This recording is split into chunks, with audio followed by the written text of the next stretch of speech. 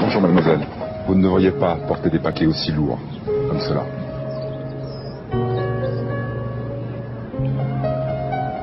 Vous devriez plutôt les porter comme ceci. Merci. Il n'y a pas de quoi.